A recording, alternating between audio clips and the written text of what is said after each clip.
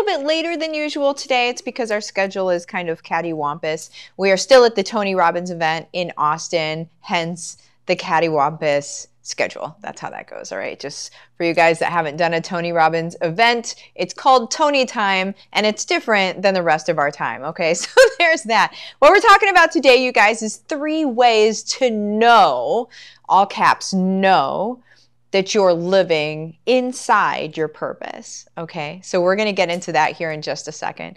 And we are going to, so let me do this real quick. We are giving things away. Do you guys know that?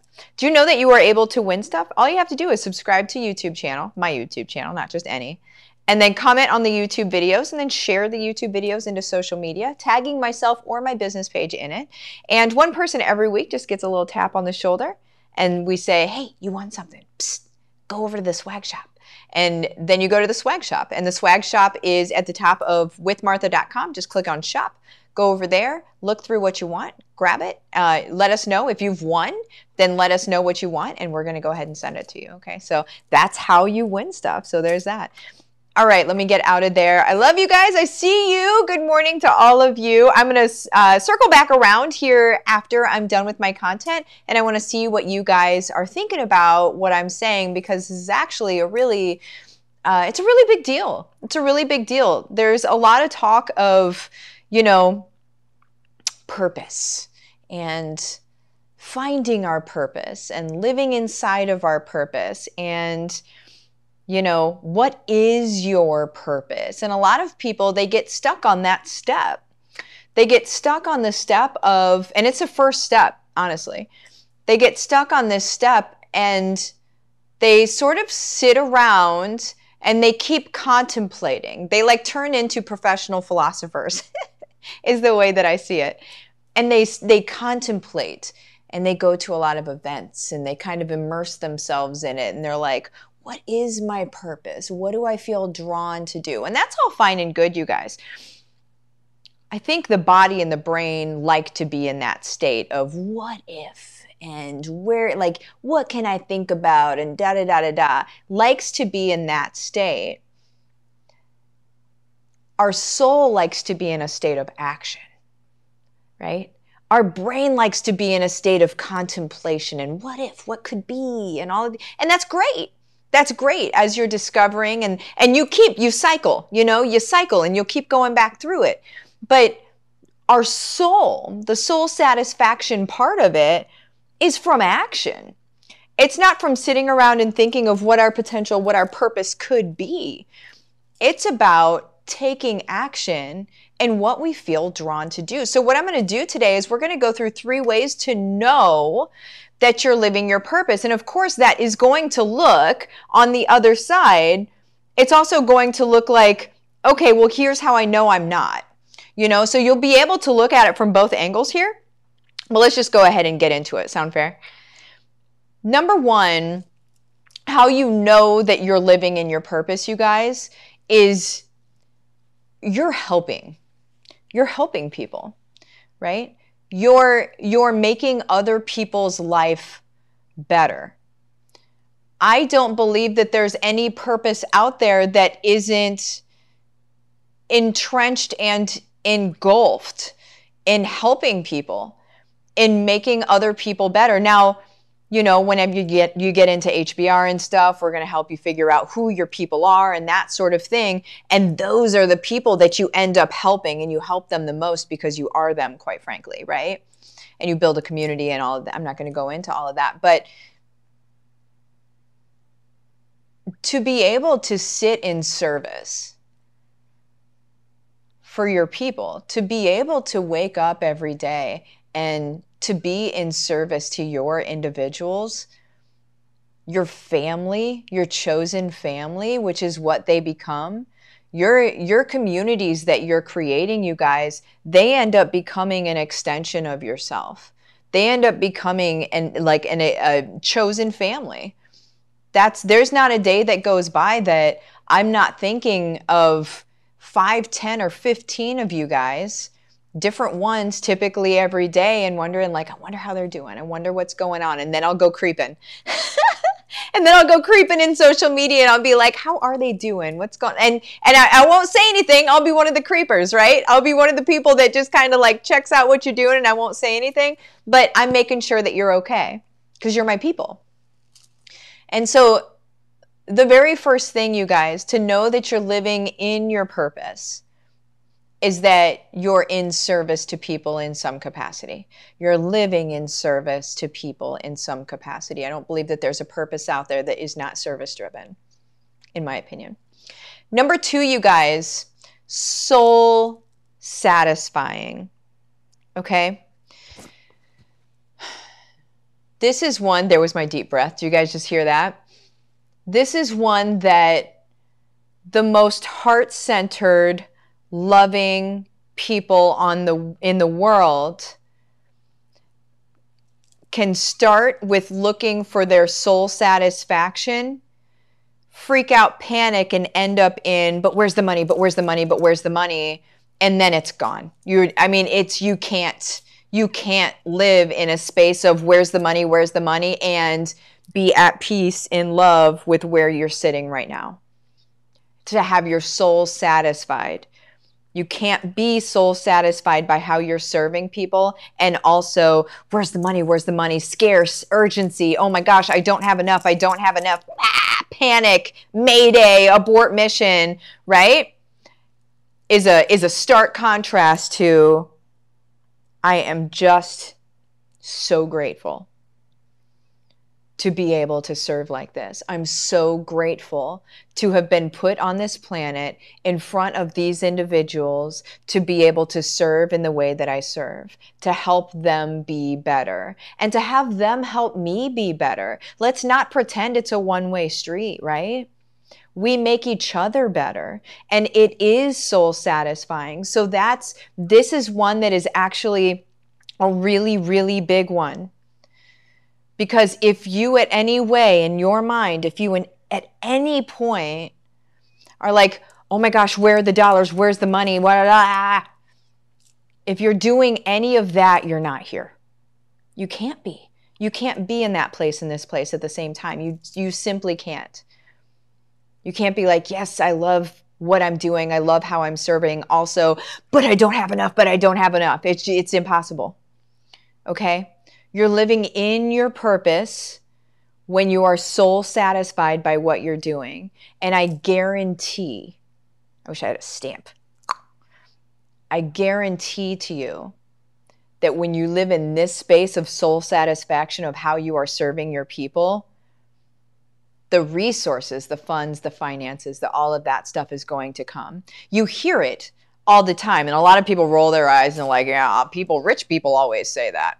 That's what I feel like that's that's what happens out in the world whenever you hear that. Oh, okay, well, that's what rich people say. Well, I mean in the meantime, I can't pay for gas. You know, like that's that I was there. I was there, guys. I was there where I had literally pennies, dimes, and quarters, and sometimes an actual paper dollar bill to be able to pay for gasoline to get to work. I remember that. I remember having that and taking it to the cashier at the gas station and saying, okay, so it's like $2.17. I need to prepay because I don't want to go over, right? And if you prepay, they won't let you go over. That's how you have to do that. Or else, if I would just paid at the pump, I was going to have to, you know, I may have gone over. So I would go in, I would humbly give these people my one paper dollar bill my nickels, my dimes, and my pennies. And I would say, here's what I got. And then I would go get my gas. I lived in there. I was there. I get it. I understand hearing somebody and say, hearing somebody say, just do what your heart leads you to do and the money is going to just come. And I remember thinking, that is so easy for someone else to say. They don't get where I'm at. They don't know what it feels like to be here. I'm telling you guys right now, I know what it feels like to be there. I have been there. And I'm also saying to you if you lead with soul satisfaction and service, true service, true like your heart is almost like it's almost like your heart comes outside of your body and is just wanting to just hug everybody around you in your community. Like you're just wanting to serve like that. When you go to that place, you will be blessed. You will be. I live it. Every day I live it, guys. I need you to truly believe what I'm saying here and take it in on a cellular level and understand that's the reality. But if you freak out, if you say, "Oh, but I need this, but I need this, but I need this," you're it's not you're not in the right place. I'm going to stop beating a dead horse. I've said it enough, but you guys get it. Number 3, you guys. You can't wait to get started each day. I remember whenever I was working at my, um, well, many corporate jobs that I had, and I would keep hitting the, um, I would keep hitting the alarm button, right? So, like the alarm on my phone, I would keep hitting it. It would go off, and then I'd hit it again. I had set, uh, how many of you guys do this? I had set alarms for every five minutes from like one hour to the next hour just so I could keep hitting the alarm. And every day I would just think, man, do I can I just call in today? Do I have any sick time? I don't want to be there. I don't want to do this. I don't want to get up and do this. And then even though I didn't want to, I would get myself dressed, you know, throw my hair in a messy bun, look like a mess, get in my car, trudge to work, and then see the building and be like, I don't want to do this, but I don't have other options. This is what I have to do. I have to make money. In this world we live in, I have to have cash, I have to have money. So this is how I have to make that money. This is this is where I'm at right now. So it was a balance between being thankful for being able to make money, but then also just really hating what I was doing. Living inside your purpose, guys is loving waking up every morning to serve the way that you're serving. Now, let me throw another wrench in there for those of you that are like, okay, Martha, like I'm all on board with what you're doing. I still have to work my day job while I set up this other stuff. I get you. I was there too. Okay. So here's the let's do a little hack in here. And let's actually living inside your purpose let's say that living inside of your purpose is waking up excited to serve every day. Well, in doing that, you guys, we can do that at our corporate job. It's a change of how we see things. You're changing your view of the world around you. You're changing how you're looking at the the place that you're going. So there's the, you know, I don't feel like I, I have purpose being there. There's that viewpoint. It's all kind of like the sunglasses you're wearing, the filter you're looking through. Or you put on the sunglasses that say, you know what?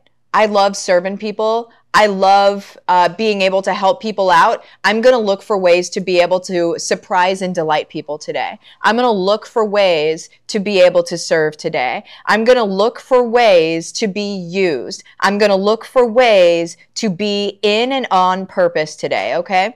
And you go to work with that mentality, your day will be so much better. Plus, the interesting thing is you'll start bringing about the changes in your world. I started doing that at my corporate job before I quit.